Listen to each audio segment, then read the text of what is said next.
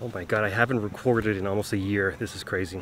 What's up everybody, Alex here. I know it's been a very long time since you've seen a YouTube video of mine. That's because I took a very long and extended hiatus to kind of grab my thoughts and grab things back together because uh, doing this for the last seven years, it's been very difficult and I have just been completely burnt out. If anybody knows anything about traveling the world and anything about filming it, it's very difficult to do it alone and solo and let alone in the heat and especially driving a motorcycle the complications of it and the logistics of it are just very, very time consuming and difficult. So doing that for many, many years was very difficult. So I invite you back to my channel. Thank you everybody who's been following and commenting and doing all these things. It's great to be back finally. It's taken quite a quite an effort to be here, but here we are. To update you on things, I am currently in the United States. I am driving a motorcycle and I am outside South Dakota, Wyoming border area. And for the next few weeks, I will be driving this wonderful motorcycle across, visiting great sites, and I will be filming three very unique cinematic videos and I will be doing vlogs and I kind of want to show you behind the scenes of what it takes to capture a cinematic journey and try to film it and have some help and do it solo, fly drones, a whole deal. I'm going to be more about the human experience of what it is to travel in 111 degree Fahrenheit heat like I did yesterday uh, to what it is to get to these monuments in the summer and what my personal journey is all about in the difficulty I've had this last year in trying to get back on the YouTube.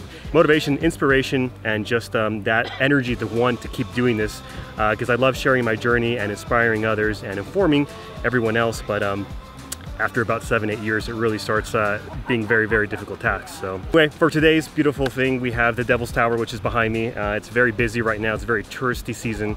And uh, yeah, it's just a very nice monument. It's a very weird geological formation that has really no uh, scientific evidence as to how it really formed and has always been uh, old wives' tales, has always been um, Native American stories about how it formed, but there's nothing that can prove how this thing was actually created geologically. We see theories and stuff like that, but there's nothing that's been 100% proven, which is quite interesting. So really unique site. People can actually climb all the very top and yeah, that's it. Thanks for everybody for being patient with the videos and there's a lot more coming up, a lot more consistently, uh, hopefully weekly, bi-weekly. And uh, yeah, here we are. I'm gonna get on the road now and uh, head to Wyoming, which I heard is really awesome. So we'll see you there. Here we go. The adventure begins. My glove has a hole in it. That's so I can actually touch my screen on my cell phone and give myself the proper directions. And for those of you who are wondering who is this, delightful young lady in front of me. This is Grace. She is my wonderful and delightful friend. We met a few months ago at an event in California. She came to the event in South Dakota and we were both there and we said, hey, listen, we both want to do a trip. Uh, why not go together, save cost, uh, logistics. She's going to help me film the cinematic video. So she's going to be here with me for the next week or two and uh, we're going to be filming some cool stuff and uh, with her help uh, hopefully we'll be able to document a really nice motorcycle journey so all right grace you ready and before anybody asks, Grace is not my girlfriend. Grace and I are not romantically engaged because I know that's what everybody's going to think when they see this video. Yes, you can have female friends and yes, there are badass female riders out there and she is one of them. So this is her. And the thing about South Dakota and Wyoming area right now is there's a lot of Harley people because the world's largest motorcycle rally called uh, Sturgis Rally is around this area and it's coming up in about uh, two weeks. So lots of Harleys and cruiser type looking bikes. The park rangers over here, hello.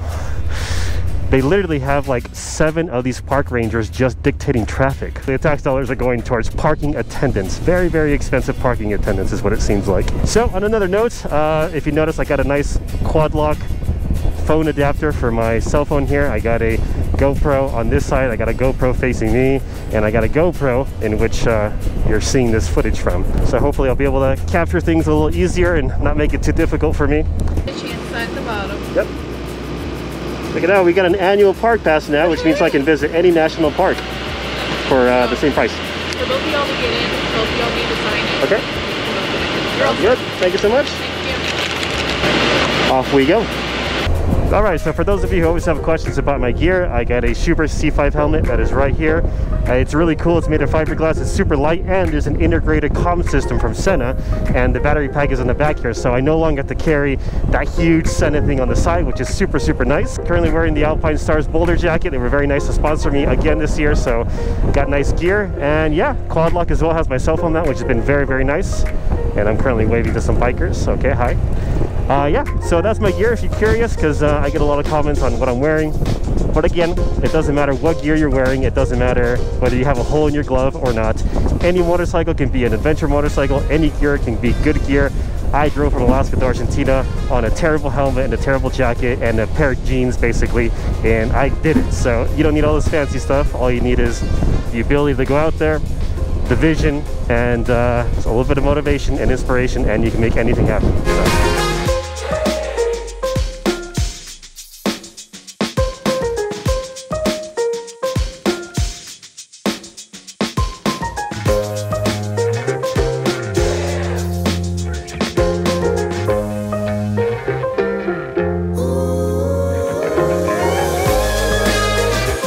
20 p.m. and it's time for another gas up.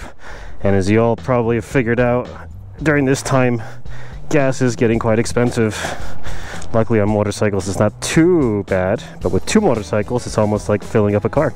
So $4.80, diesel's at 5, 4.5, so yeah, it starts adding up. I think every time we've been gassing up, it's been, uh, I don't know, like $22 gassing up. It's the half the price of a car for two bikes. There we go.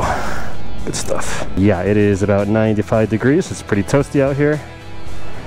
These people doing it right. They can put down the top when they want to, but they can also have the air conditioning as you wish. That's always the hardest part about gassing. I was making sure that gas doesn't drip on there. One thing I've really been enjoying uh, from this trip so far is my equipment. SW Tech super cool. They give me all my all the bags and stuff that I want and need. And uh, this thing actually has a magnetic lock. So Grace has straps, so you gotta take them on and off. It takes quite a while. With this one, you just basically put it here and it sticks on there and you're good to go. So very fast, very efficient, and cool technology. Absolutely love it. Would have killed to have this when I was driving Alaska to Argentina. So I gotta say, one thing about Wyoming that's been really interesting has been all the little towns, like this uh, little old timey looking hotel, the saloon. Then you have a little fair going on over here, which is also very nice. Some people on a horse carriage, which is super cool. You got the little concert going on to the left over here. Wish we could go there, but we got places to be. And yeah, just this whole building architecture, of these little small towns and cities drive through in Wyoming. Very, very cool. Very cute.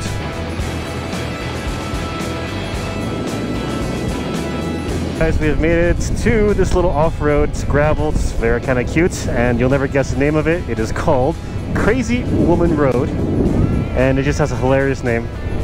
It's good stuff, good chuckle, lots of horses. Well, we ran into a problem here. Apparently the road is closed, which sucks because it basically means we got to go all the way around, which we were not planning for. It's garbage.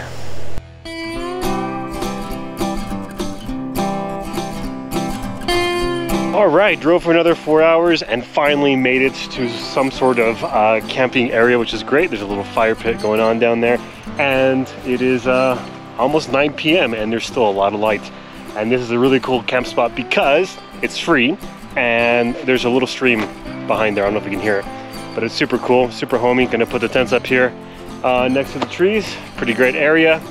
And yeah, what a pretty adventurous day, pretty awesome. And just enjoying being out here in nature because this is what it's all about, right? You get these little beautiful spots and you know the struggles are just kind of melted away after the whole day. So just hearing the stream and just being in nature and having a moment like this is just um, what really makes it worth it to me. So love it. I can smell the air. I can feel the adventure.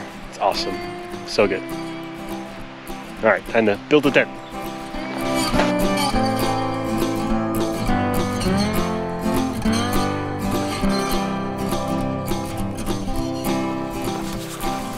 Man, it got super, super cold. It got down to uh, like 57 degrees Fahrenheit, which after, you know, 100 plus days, it's, uh, it's quite cold. We were not prepared for that, but luckily we zipped up everything and we made it just fine. So if you're asking why we're putting our tents next to each other, well, that's because number one, safety out in the wilderness. Uh, there's always animals and stuff. Number two, the human animal, also very dangerous. So we don't want anybody sneaking up on us or whatever it is. So this is uh, for safety number one. Also in case it gets really windy, it'll help dissipate the, uh, the wind and so forth. So yeah, whenever you're camping, the main idea is always stay safe. And um, one of the ways you can do that is by doing that. All right, so for those of you wondering what I am doing now, I am pumping up my air mattress in my tent and I'm putting my sleeping bag and my pillow. And to do this, uh, I used to do it manually, just blowing all the time, but that gets very tiring very quick. And I've almost passed out a few times by blowing so much air. So now I have a really cheap, small air pump. It's definitely worth it.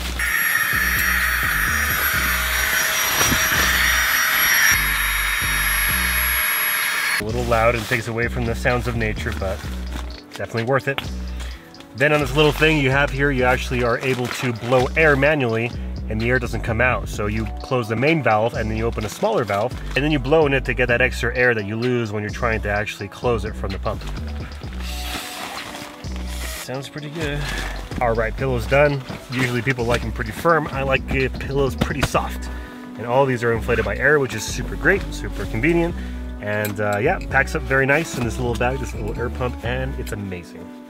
Grace does not have an air pump and she saw my air pump and she's like, oh my God, I should get an air pump. Finally, this is a sleeping bag. And this sleeping bag has a lot of history because it has traveled with me since the beginning of my travels, starting 17 years ago when I was 17 years old myself. And this one was my dad's that he took to Alaska one time. I purchased it off of him for like uh, $50 or $40 and it has been to like over 50 countries around the world and it still works fine and it's absolutely amazing the fact that it's lasted 17 years this sleeping bag. Pretty much my trophy and memento of some of my travels is my backpack's been with me everywhere, sleeping bags have been with me everywhere.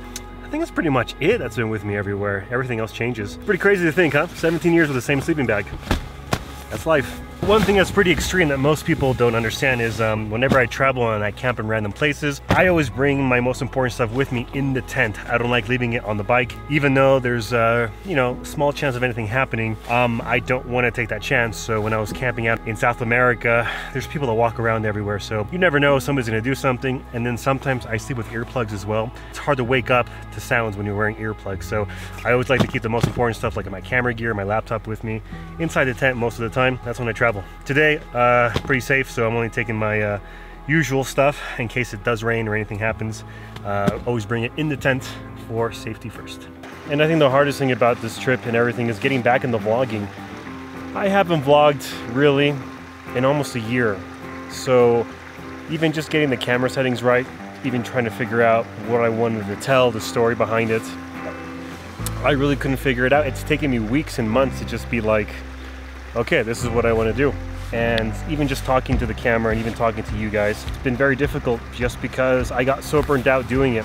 And what this trip has taught me the last week of filming this, even though this is just day one, I've been trying for seven days to film, but I haven't. Filming the way I did every single day, when I did South America, when I did all the other countries, it was a nightmare. It was basically, I could only film. The only thing I ever had to do was time to film. I had no time to enjoy.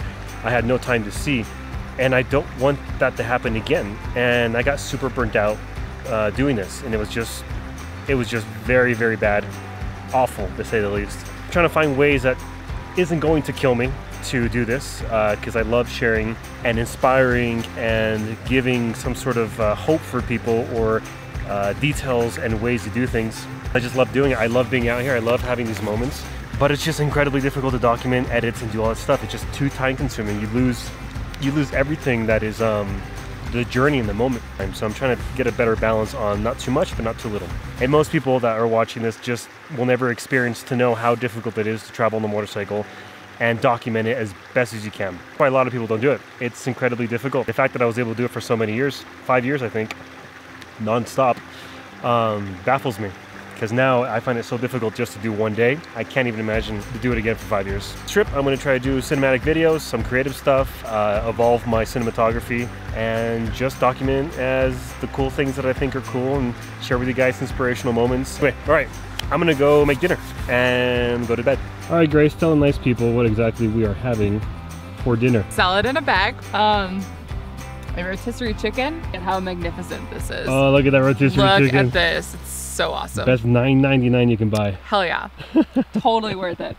So there you have it. We got chicken, salad, and macaroni and cheese. I think some chips as well. So that is our dinner. And that is the end of the day today. And the sun is officially going down at 10 p.m. pretty much. Anyway, thanks for joining me on this adventure today and uh, we'll see you tomorrow.